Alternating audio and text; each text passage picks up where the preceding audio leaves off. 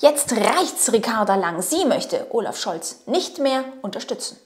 Hallo meine Lieben, es geht um die finanzielle Unterstützung privater Seenotretter wenn man diesen Begriff überhaupt so nennen kann, denn sind es Seenotretter oder Schleuser? Könnte man auch diesen Begriff benutzen. Meiner Meinung nach passt dieser besser, denn diese profitieren davon und es wird auch noch von Deutschland finanziert und es ist keine Seen, also man muss die Begrifflichkeit noch immer auseinanderhalten. Seenotrettung bedeutet, dass du in Nöte geraten bist, dann gerettet wirst, ähm, in einem Land dann erstmal aufgenommen wirst, bist wieder zurück kannst, weil du eben einfach vielleicht gekentert bist, was auch immer passiert ist. Es heißt nicht Seenotrettung, wenn man den Weg auf sich nimmt und sagt, hey, ich möchte zum Beispiel von Tunesien nach Italien, um dann nach Deutschland zu kommen. Das ist keine Seenotrettung, sondern das ist eigentlich Schleusen. Und deswegen muss man das differenzieren.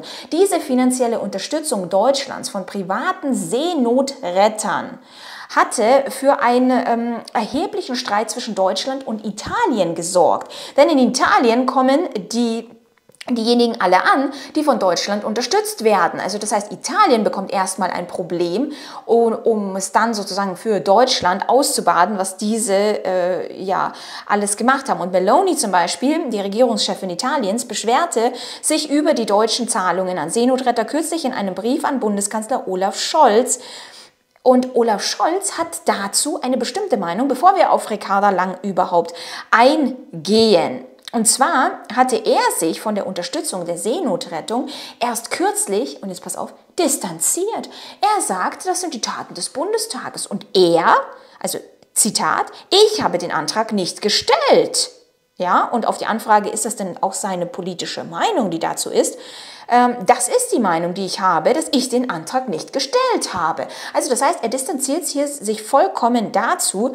Und die Frage ist, ähm, hat sich das jetzt mal erledigt mit diesen Seenotrettungen? Könnte man da hier vielleicht irgendwie ja, eine, einen alternativen Weg einschlagen, dass, dass, dass man irgendwie ähm, den Menschen wirklich hilft und sie nicht in Seenot eigentlich geraten lässt? Denn diesen Weg, den sie auf sich nehmen, ist ja nur wegen des, des Geldes und einer mh, neuen Möglichkeit. Möglichkeit. Denn würde es nicht finanziert werden, würden Schleuser nicht bezahlt werden, dann würden sie das definitiv nicht machen und würde denjenigen nicht ein absolut wundervolles Sozialsystem ähm, äh, wo sie dann äh, ja möglicherweise denken, dass sie sehr, sehr gute Chancen haben, äh, leuchten, dann würden sie diesen Weg auch nicht auf sich nehmen, wo sie sehr viel Gefahren auch auf sich nehmen und dadurch dann im Grunde auch sehr viele Todesfälle geschehen.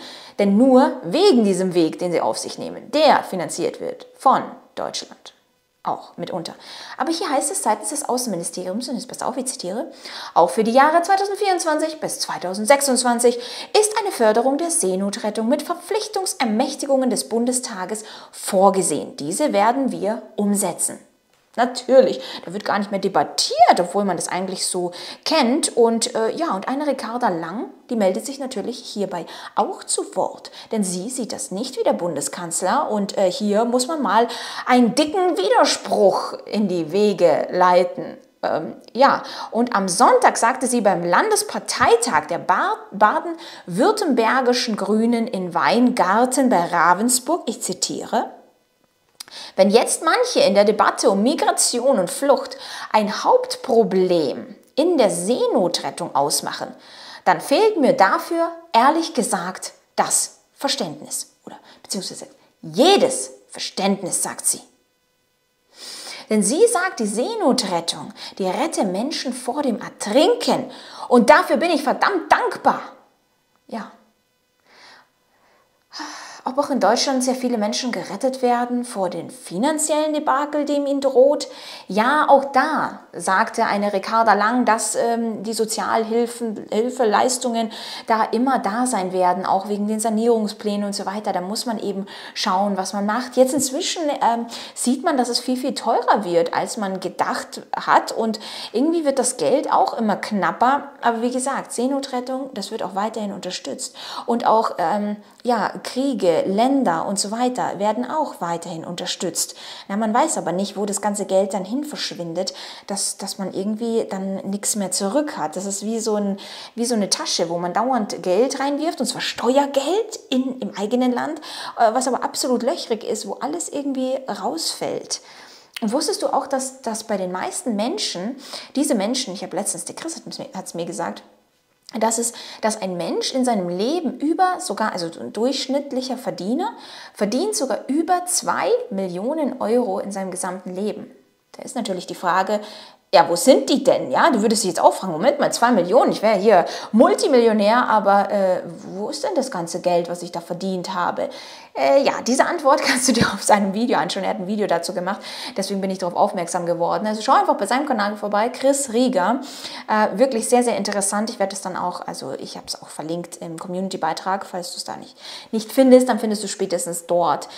Jedenfalls ähm, äh, wirklich, wirklich heftig, wenn man sich überlegt, wo ist denn das ganze Geld hin? Wenn man jetzt sein privates Geld nimmt, okay, gut, aber äh, wenn man jetzt einfach das, das Geld, äh, das ganze Steuergeld mal hernimmt, dann, dann merkst du schon langsam, wo das Ganze überall hinsieht und man sieht eben auch, wie diejenigen sich nicht einig sind, aber das bleibt die Zahlung. Ja, man kann ja sagen, so ich distanziere mich hier davon, aber hm, naja, ist halt so, ja, wurde entschieden und ähm, tja, gut. Und wie gesagt, Seenotrettung ist ein schöner Begriff, genauso wie Verteidigung im Krieg ein schöner Begriff ist oder Demokratisierung oder Friedenstruppen oder die ganze Wortverdrehung. Ja, da kommen wir wieder zu Orwell eigentlich. Ähm, ja, äh, höre genau hin, was, was du hörst und äh, schau dir das genauer an. Und äh, schreibe mir gerne deine Kommentare zu diesem Video. Und wir sehen uns natürlich beim nächsten Video. Bye!